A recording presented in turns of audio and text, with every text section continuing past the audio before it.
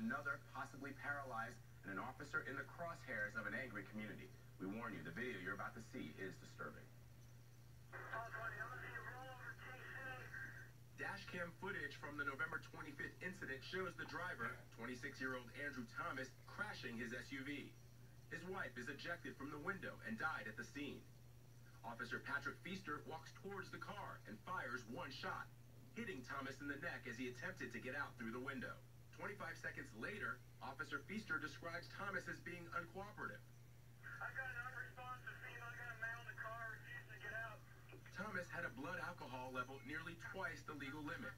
He's facing vehicular manslaughter charges in his wife's death and may be paralyzed from the waist down.